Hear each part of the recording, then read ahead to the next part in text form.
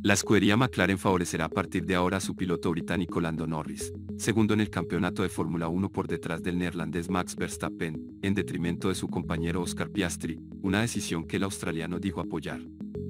Egoístamente, tengo que admitir que las órdenes de equipo no son divertidas, declaró este ante la prensa Piastri, en la víspera de los entrenamientos libres del Gran Premio de Azerbaiyán 2024 de la F1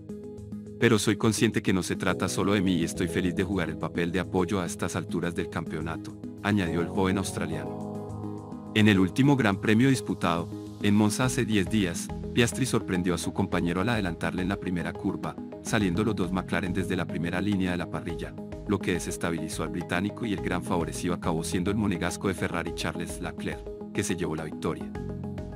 En una entrevista publicada este jueves por la BBC, el responsable de la escudería Andrea Stella explicó que McLaren apoyará a Lando, pero sin comprometer demasiado los principios que son los de que el equipo está por encima de todo.